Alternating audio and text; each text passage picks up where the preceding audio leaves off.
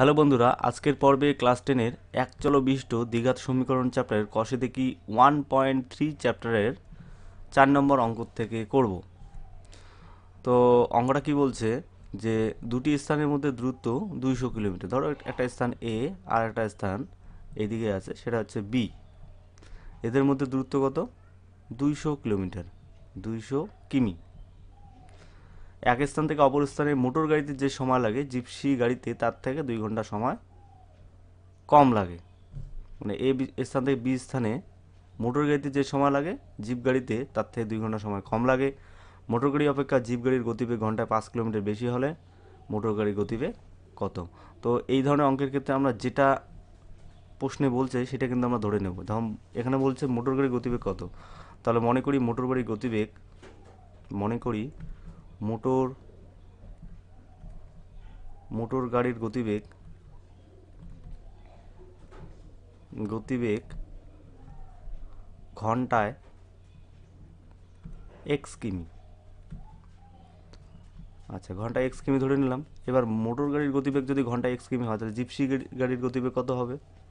বলছে মোটর গাড়িতে যে সময় লাগে জিপসি গাড়িতে দুই ঘণ্টা সময় কম লাগে। এ তো গেল সময়ের দিকে। আবার গতিবেগ বলা আছে, মোটর গাড়ির অপেক্ষা জিপ গাড়ির গতিবেগ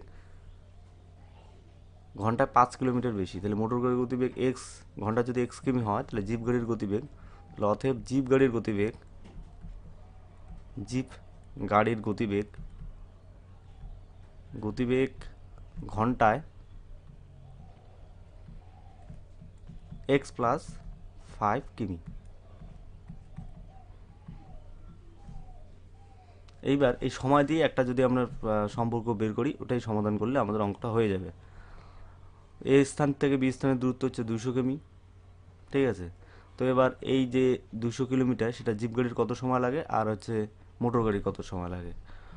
মোটর গাড়ির মোটর গাড়ির সময় লাগে সময় লাগে। কতক্ষণ সময় লাগে দেখি? তাহলে কিলোমিটারকে যদি আমরা গতিবেগ দিয়ে ভাগ করি, তাহলে কিন্তু আমরা পেয়ে যাব কত সময় লাগে? তো মোটর গাড়ির সময় লাগে দূরত্ব হচ্ছে দুশো কিমি মোটর গাড়ির গতিবেগ হচ্ছে এক্স কিমি। তাহলে এত ঘণ্টা। জিপ গাড়ির সময় কত লাগে? জিপ গাড়ির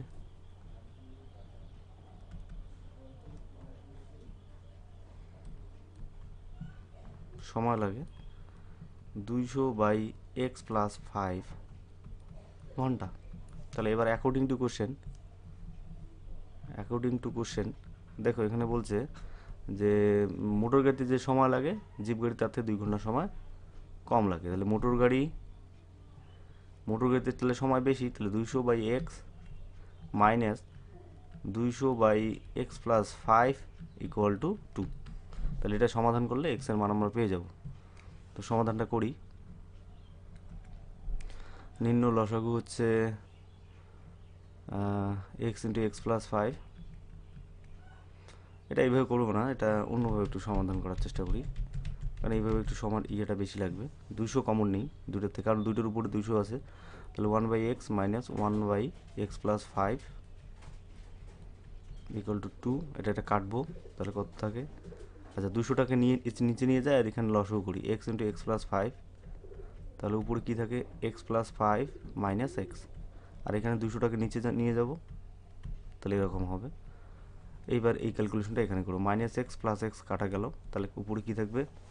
আর এখানে কাটা গেল, নিচে একশো। তাহলে গুণ করি।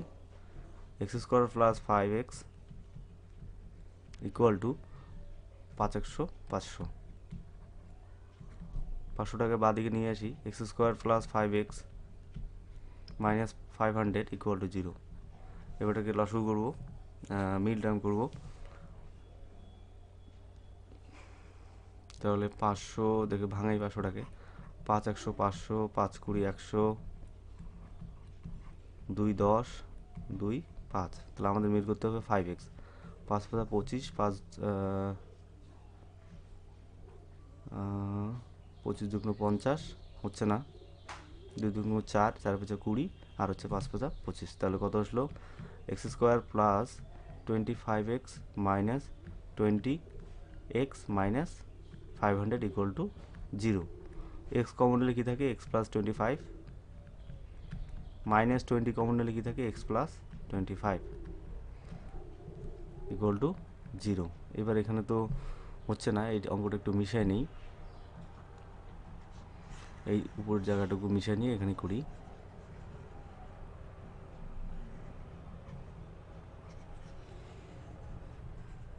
তো অঙ্কটা তো খুবই সহজ, এই ধরনের অঙ্ক একটা দেয় মাধ্যমিকে। কি? যে, অতএব এক্স প্লাস টোয়েন্টি ফাইভ যদি কমন নেই, তাহলে কি থাকে?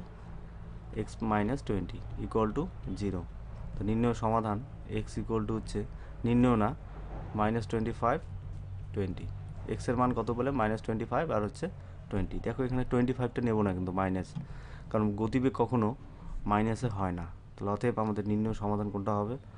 এক্সের মান কোনটা হবে? এটা অতএব মোটর গাড়ির গতিবেগ, মোটর গাড়ির গতিবেগ গতিবেগ ঘন্টায় ঘন্টায় কুড়ি কিমি। এবার নেক্সট অঙ্কের দিকে যাব। অমিতাদের আয়তাকার জমির ক্ষেত্রফল দুইশো বর্গমিটার পরিসীমা একশো আশি মিটার। অমিতদের আয়তাকার জমির দৈর্ঘ্য বস্তু কত? তো মনে করি দৈর্ঘ্য এক্স মনে করি দৈর্ঘ্য এক্স মিটার। এবার তাহলে প্রস্থ কত হবে? প্রস্থ সমান সমান কত হবে? দেখো এখানে পরিসীমা দেওয়া আছে একশো আশি মিটার। তাহলে প্রস্থটা আমরা এক্সের এক্স দিয়েই বের বের করব আর কি। তাহলে আমরা জানি টু ইন্টু দৈর্ঘ্য যোগ প্রস্থ। দৈর্ঘ্য যোগ প্রস্থ ইকুয়াল টু একশো আশি। মানে এটা রাফে করে নেবা তাহলে সুবিধা হবে।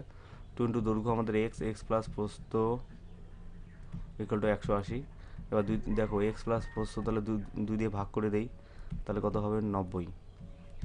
তাহলে এক্স ইকুয়াল টু কত আহ, প্রস্থ ইকুয়াল টু কত এসেছে নব্বই মাইনাস এক্স ঠিক আছে? তো প্রস্থ ইকুয়াল টু কত আসলো? নব্বই মাইনাস এক্স মিটার তাহলে এটা মিশাই দেই। এটা আমরা রাফে করছিলাম। ঠিক আছে? এইবার পরের যে কোশ্চেনটা পরের যে স্টেপটা জমির ক্ষেত্রফল বলছে এত বর্গমিটার। অ্যাকর্ডিং টু কোশ্চেন জমির ক্ষেত্রফল আমরা জানি আয়তক্ষেত্র ক্ষেত্রফল দৈর্ঘ্য ইন্টু প্রস্থ। তাহলে দৈর্ঘ্য ইন্টু প্রস্থ করব মাইনাস এক্স ইকুয়াল টু দু হাজার এবার এটাকে গুণ করে নেব। তাহলে নব্বই x minus x square equal to two thousand minus x square সামনে নিয়ে আসলাম প্লাস নব্বই এক্স মাইনাস দু হাজার ইকুয়াল টু জিরো এবার মাইনাস দিয়ে গুণ করে দিব উভয় পক্ষে। তাহলে এক্স স্কোয়ার মাইনাস নব্বই এক্স প্লাস দু হাজার ইকুয়াল টু জিরো এবার এটাকে লসু করব। দু হাজারকে ভাঙাই আগে দেখি দু হাজারকে কীভাবে ভাঙায়। দুই দিয়ে হাজার। আগে পাঁচ দিয়ে ভাঙাই নিই। দুইশো। আবার পাঁচ দিয়ে করি। চল্লিশ। পাঁচ দিয়ে করি। চার। দুই দুই। এটা কিন্তু পাঁচ কিন্তু এগুলো। নব্বই মিল করতে হবে। পাঁচ পাঁচ পঁচিশ। পাঁচ পঁচিশে একশো পঁচিশ। চার।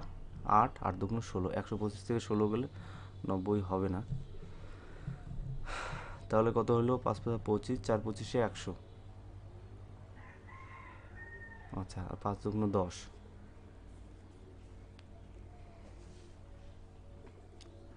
ঠিক আছে, এটা আমাদের করতে হবে।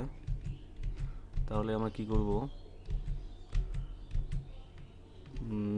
দুই দুগুণ চার চার দুগুণ আট পাঁচ আষ্টে চল্লিশ পাঁচশো পঁচিশ পঁচিশ দুগুণ পঞ্চাশ। তাহলে এটা আসবে কি?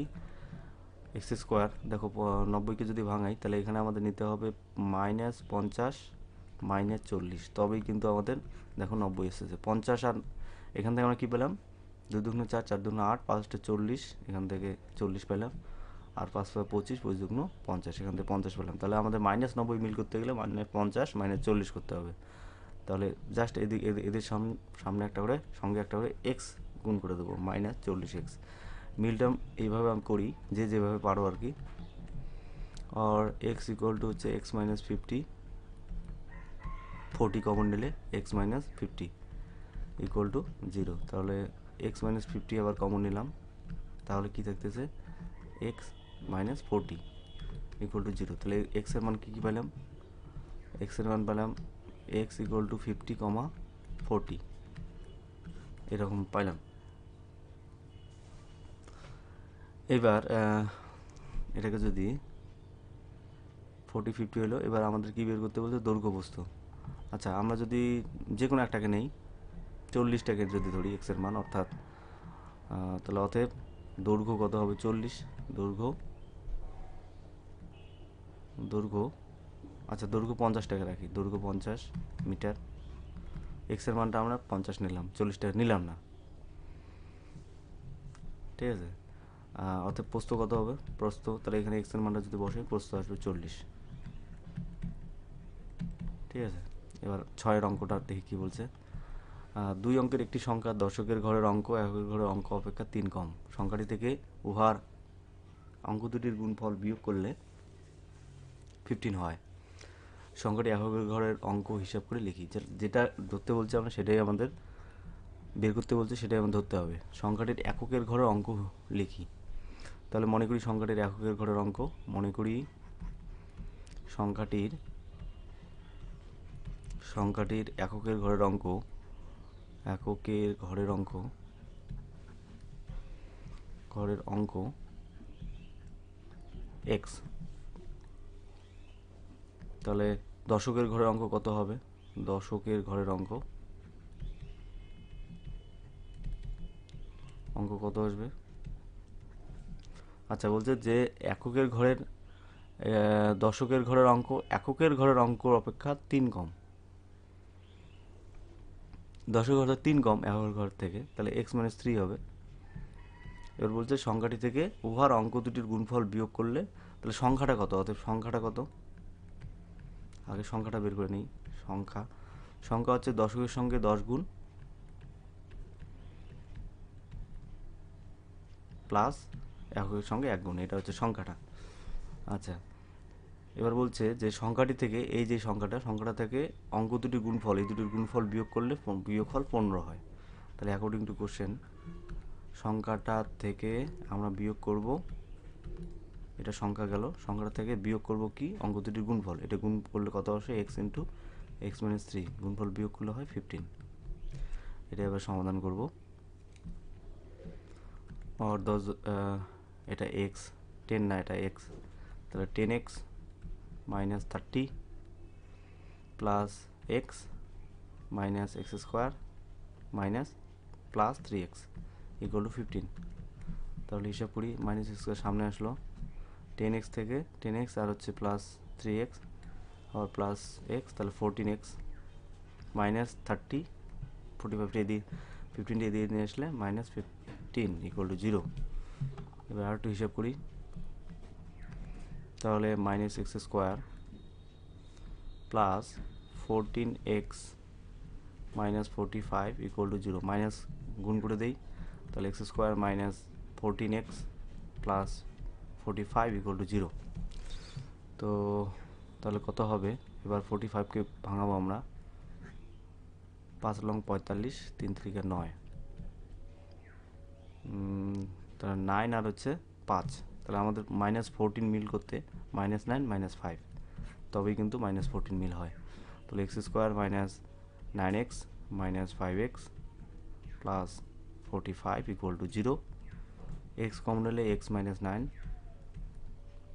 তারপর মাইনাস ফাইভ কমন নিলে এক্স মাইনাস নাইন এই জায়গাটা একটু ক্লিন করে দিই। তাহলে আমাদের কি আসছে যে, অতএব or x minus nine common নিলে আর কি আসবে? X minus five equal to zero তাহলে এক্সের মান x equal to nine comma five এক্সের মান নয় কমা পাঁচ। তো এক্সের মান হচ্ছে নয় আর হচ্ছে পাঁচ। তাহলে আমরা কোনটা নেব? দেখো যে কোনো একটা সংখ্যা নিতে পারি। নয় নেই। যেহেতু বলছে দেখো এক্সের সংখ্যাটা এখানে বড়। এককের ঘরের অঙ্কটা আমরা ধরেছিলাম এক্স আর এককের ঘরের অঙ্কটাই হচ্ছে বড়। ওই যেখান থেকে বোঝা যাচ্ছে। তাহলে আমরা এককের ঘরের অঙ্কটা ধরবো, অতএব এককের ঘরের অঙ্কটা এককের ঘরের অঙ্ক অঙ্ক নয়, বড়টা ধরবো। অতএব দশকের ঘরে অঙ্ক কত হবে? দশকের ঘরের অঙ্ক আচ্ছা দুইটা মাইনাস আসছে কি? হ্যাঁ দুইটা মাইনাস আসছে। দর্শকের ঘরের অঙ্ক তাহলে কত হবে? দর্শকের ঘরের অঙ্ক